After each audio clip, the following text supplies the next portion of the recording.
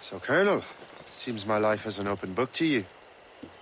Men from my regiment found you delirious and half-drowned. I did not know who you were. But what you were was obvious. I brought you to the Finnegans for care. Their late son was one of our order. Master Johnson was furious. It was a risk. But I suspected you might have left your brothers behind.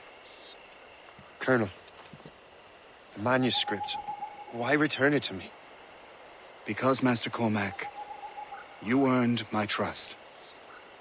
It could not be in better hands. Respectfully, sir. I'm more of a target than you now. Gentlemen, Kesegowaase is rallying to storm Albany. His allies threaten a friendly Oneida village, and French troops have already entered our territory. Might be able to delay the French and help the Oneida. We will ready the defenses in Albany.